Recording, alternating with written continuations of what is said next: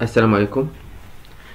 Donc, euh, dans cette vidéo, nous allons passer à la quatrième euh, partie intitulée Les échanges extérieurs. Bien sûr, ça, euh, cette vidéo il fait partie d'une série de vidéos dans laquelle je vais traiter les échanges extérieurs.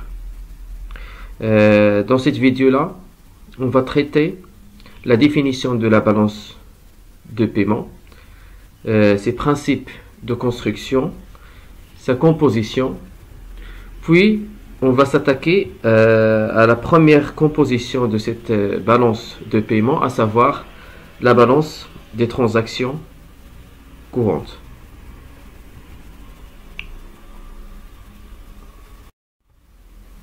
Donc, premièrement, la notion de la balance de, de paiement. Selon l'Office des échanges marocains, la balance des paiements est un état statistique qui enregistre selon une classification déterminée l'ensemble des flux économiques et financiers intervenus pendant une période donnée entre les résidents et les non-résidents d'une économie. Donc la balance de, paiement, euh, c'est un tableau qui enregistre l'ensemble des flux. Euh, vous vous rappelez, les flux, on a dit, ce sont des mouvements euh, de biens et, de services et de la monnaie entre deux agents économiques. Donc ici, c'est la, la, balance de paiement, il enregistre les flux. Mais les flux entre les agents économiques résidant sur le territoire national et les agents économiques non résidents. Bien sûr, cette balance de paiement, il, adopte une certaine classification qu'on va voir euh, après. Et bien sûr, il est déterminé euh, selon euh, une période. Euh, le plus souvent, c'est l'année. Les principes de construction de la balance de paiement. Premièrement, la contrepartie. L'enregistrement en termes de contrepartie signifie que ce ne sont pas les opérations réelles ou financières qui sont enregistrées, mais leur contrepartie monétaire. Ça veut dire que c'est comme la comptabilité, on n'enregistre pas les opérations réelles, mais on enregistre leur contrepartie monétaire. Deuxième, c'est la double écriture. C'est le cas aussi dans la comptabilité. Ça veut dire que toute transaction enregistrée doit donner lieu à deux inscriptions de montants égaux et de signes opposés. Un montant à débiter et un montant à accréditer afin d'avoir euh, l'équilibre à la fin. C'est le même principe de la partie double en comptabilité générale. Puis, enfin, on a la chronologie. La chronologie de l'enregistrement pose la question de la date de l'enregistrement de l'opération. Il peut être enregistré au moment de la transaction, c'est-à-dire passage à la douane, ou bien au moment de son règlement. Ça veut dire la date à laquelle on doit enregistrer cette opération ou bien c'est la date à laquelle se réfère l'opération. On a deux choix. Soit on va enregistrer au moment euh, de la transaction, ça veut dire lorsque le bien ou bien le, flux financier il passe à la douane, que ce soit en entrée ou bien en sortie. Ou la deuxième possibilité, ou bien le deuxième choix, c'est au moment de règlement. C'est lorsque on paye la transaction. Troisième euh, élément, c'est la présentation de la balance de paiement. Donc la balance de paiement du Maroc. La balance de paiement du Maroc, se compose de trois sous-ensembles. Il y a premièrement la balance des transactions courantes ou bien le compte des transactions courantes. Puis il y a le compte des capitaux. Puis il y a le compte financier.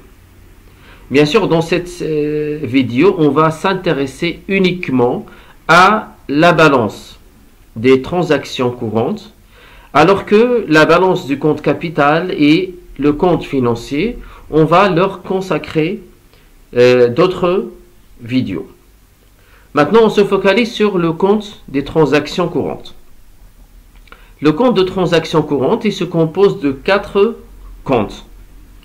Il y a le compte des biens, il y a le compte des services, le compte des revenus primaires et le compte des revenus secondaires. D'accord? Donc si on vous demande de calculer le solde des transactions courantes, il va contenir les quatre soldes, c'est-à-dire le solde des biens, le solde des services, le solde des revenus primaires et les soldes des revenus secondaires. Les biens, ce sont les marchandises. Donc toutes les, euh, les marchandises, ça veut dire les, les biens euh, qui ont une consistance physique. Les services, exemple de services, ce sont des biens immatériels, exemple les transports, les voyages, euh, l'hôtellerie, la restauration et ainsi de suite. Puis on a les revenus primaires, donc euh, ce sont des revenus qui correspondent euh, à une participation à la production, comme les, salaires ou bien les revenus d'investissement. Puis il y a des revenus secondaires qui, la plupart du temps ne correspondent pas à une contrepartie. Donc on va voir par la suite les définitions de chacun de ces, éléments, puis on va voir aussi des exemples. Donc la balance des opérations courantes.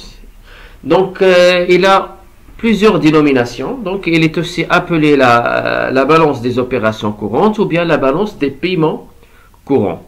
Cette balance se compose, comme on a déjà dit, de la balance commerciale, c'est-à-dire de la balance des services, et plus la balance des services, plus la balance des revenus primaires, puis la balance des revenus secondaires. Donc on va voir euh, autour de rôle chacun de, euh, de ces quatre euh, éléments. Commençons par la balance commerciale. Cette balance enregistre les opérations sur les marchandises, c'est-à-dire les exportations et les importations. Donc comme j'ai déjà dit, les marchandises, ça veut dire des biens euh, palpables et touchables qui ont une existence physique. C'est le contraire, bien sûr, des services. Donc lorsqu'on parle de la balance commerciale, on parle des exportations, ça veut dire des biens et des marchandises qui sont vendus en dehors du territoire national et des importations, ça veut dire des biens euh, et des marchandises qui sont achetés de l'extérieur du territoire national. Et ces, marchandises-là, elles se comportent, comportent les marchandises euh, dans un sens global, donc tout type de marchandises confondues, des exportations nettes de négoce. Qu'est-ce que ça veut dire les exportations nettes de négoce Ce sont des marchandises achetées par un résident auprès d'un non-résident et qui sont vendues par la suite à un non-résident.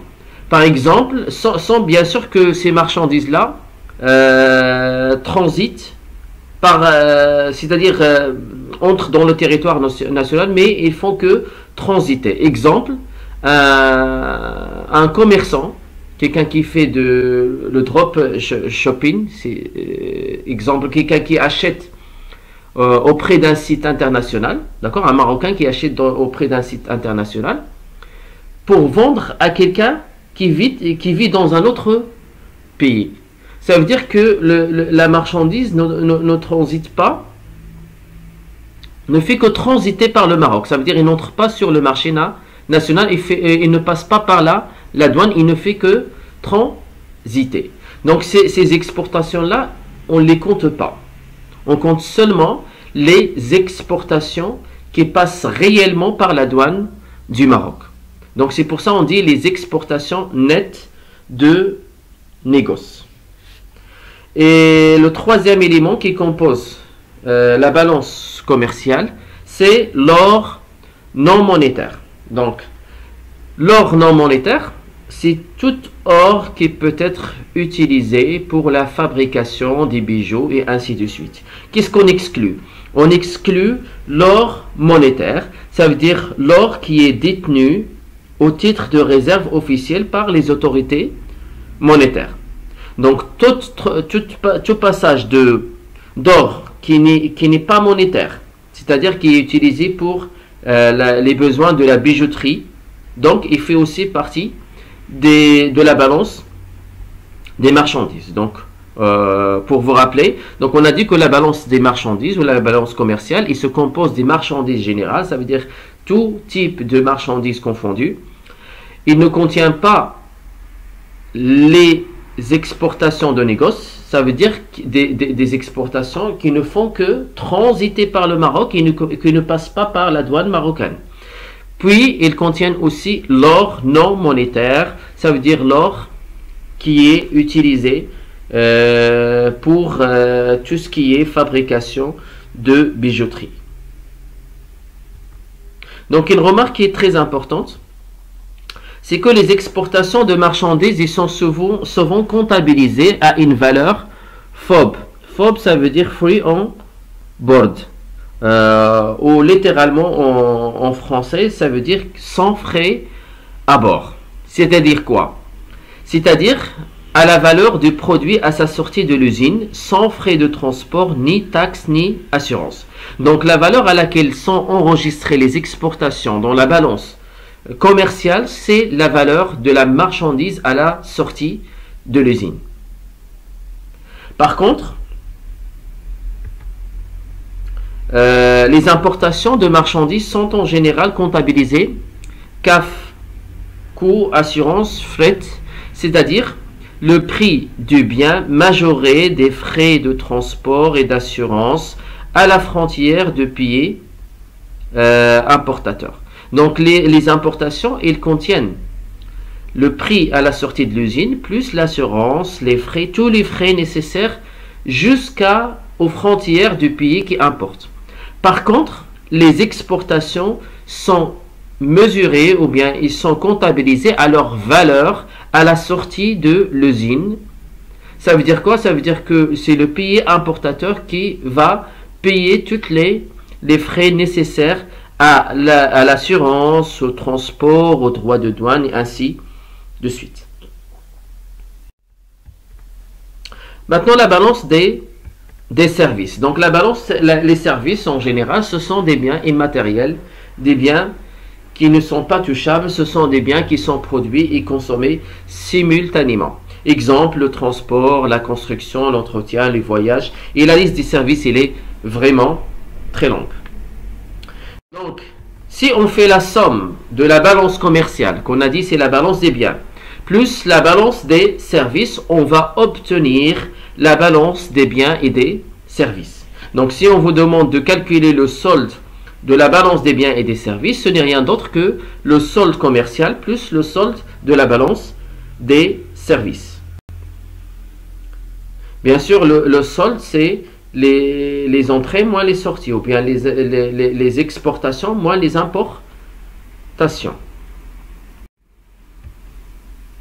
La balance des revenus primaires. Donc, troisième composition de la balance de paiement, c'est la balance des revenus primaires. Donc ce sont des revenus des facteurs de production, c'est-à-dire des revenus primaires comme les salaires ou les revenus des investissements. Donc ce sont des revenus qui correspondent en général à une contrepartie, à savoir la participation à l'activité économique ou bien à la production. Donc exemple, les salaires pour les travailleurs ou bien des revenus d'investissement. Donc on va donner des exemples. Exemple, les profits euh, d'une entreprise étrangère implantée au Maroc et rapatriés dans le pays d'origine. Par exemple, une entreprise française qui, qui, s'est installée, qui est implantée au Maroc, et bien sûr qui euh, expédie euh, annuellement ses profits vers son pays d'origine. Ça, c'est un revenu d'investissement et qui va figurer bien sûr dans la balance des revenus primaire. Un autre exemple, les salaires des travailleurs frontaliers. Donc, euh, pour comprendre cet exemple, je vais donner euh, un exemple euh, en Union européenne.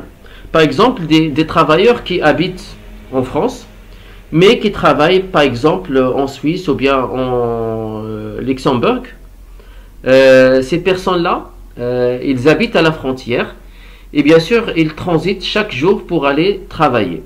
Donc, euh, leur salaire qu'ils reçoivent, ils passent par, par la balance de paiement parce que c'est un revenu primaire qui est reçu d'un pays, d'un autre pays au titre d'une participation à l'activité éco économique. Donc euh, les, salaires des travailleurs euh, frontaliers, ça se pose seulement lorsque une, euh, une, personne habite dans un pays mais travaille dans le pays voisin. C'est le cas des pays qui sont très rapprochés et des personnes qui habitent à la frontière, bien sûr. Puis enfin, on a la balance des revenus secondaires. Donc, on sait que euh, les revenus secondaires, ils retracent les transferts courants entre résidents et non résidents. Donc la différence entre les revenus secondaires et les revenus primaires, c'est que les revenus secondaires ne correspondent pas à une participation à l'activité économique. Ça veut dire que ce sont des revenus qui n'ont pas réellement une contrepartie. Donc on va donner aussi des exemples. Exemple les aides internationales. Donc les aides reçues par exemple par le Maroc euh, de la part de l'Union européenne par exemple, ou bien les, aides accordées au Maroc à, des pays africains par exemple, à des pays euh, qui connaissent euh, une crise ou bien des difficultés. Autre exemple, c'est les envois d'argent à l'étranger. Je vous donne l'exemple d'un euh, d'un Marocain résident à l'étranger qui envoie de l'argent à sa famille au Maroc, par exemple, ou l'exemple contraire, euh, un étudiant marocain dans un pays étranger qui reçoit des transferts périodiquement des transferts d'argent depuis le Maroc de la part de sa famille. Enfin, on va faire les soldes. Donc, euh, il existe plusieurs soldes. Le premier, c'est le solde de la balance des invisibles. Donc, si on veut calculer la balance des invisibles ou son solde, il se compose des éléments qui sont invisibles, qui sont euh, non touchables. Exemple, la balance des services, plus la balance des revenus primaires, plus la balance des revenus secondaires. Donc le solde des invisibles n'est rien d'autre que le solde des services plus le solde des revenus primaires plus le solde des revenus secondaires. Deuxième solde, c'est la balance des transactions courantes. On a déjà dit que la balance des transactions courantes, il se compose des quatre éléments. D'accord? Donc, puisque la balance des services, il contient les, trois derniers éléments, à savoir les services, les revenus primaires et les revenus secondaires. Donc, ce qui manque, c'est c'est le solde de la balance commerciale. C'est pour ça qu'on fait la balance des services, des invisibles plus la balance commerciale est égale à la balance des transactions courantes. Donc, le, solde courant, on peut le calculer euh, aussi en faisant le solde commercial plus le solde des services et bien sûr en agrégeant les, deux soldes, les deux revenus, revenus primaires et secondaires, donc ce qui nous donne le solde des revenus. Donc le solde courant est égal au solde commercial plus le solde des services plus les soldes des revenus. Donc j'espère que euh, les notions ils sont un peu plus claires. Donc bien sûr on va compléter le cours par euh, des exercices que je vais vous transmettre euh, plus tard. Donc j'espère que c'est instructif, j'espère que c'est un peu plus clair. Donc euh, je vous donne rendez-vous dans une prochaine vidéo et bien sûr je vous invite à poser vos questions et vos remarques dans le groupe. Donc à la prochaine.